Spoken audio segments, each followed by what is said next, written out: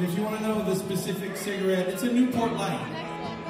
It's Yeah. a Newport Light. That's all I smoke. I don't Camel smoke. Crush